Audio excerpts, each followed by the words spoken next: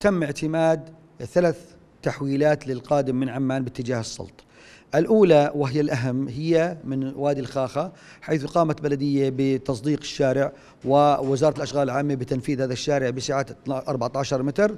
آه، سيخدم القادم من السلط باتجاه عمان وتحديدا كافة الآليات الثقيلة والباصات وآليات النقل المشترك.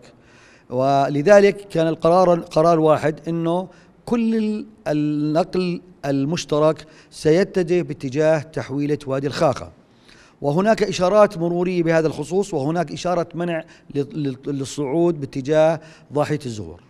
الطريق الثاني وهو المعتمد ثانيا آه، قامت البلدية ووزارة الأشغال العامة بإيجاد مسرب من داخل الشارع القائم شارع عمان السلط ليخدم المواطنين القاطنين في هذه المنطقة والمحلات التجارية وتم تنفيذ مواقف للسيارات لكي تقوم بالشراء والتسوق. ومسرب دائما فاتح للسير بحيث تقوم السيارات بسلوك.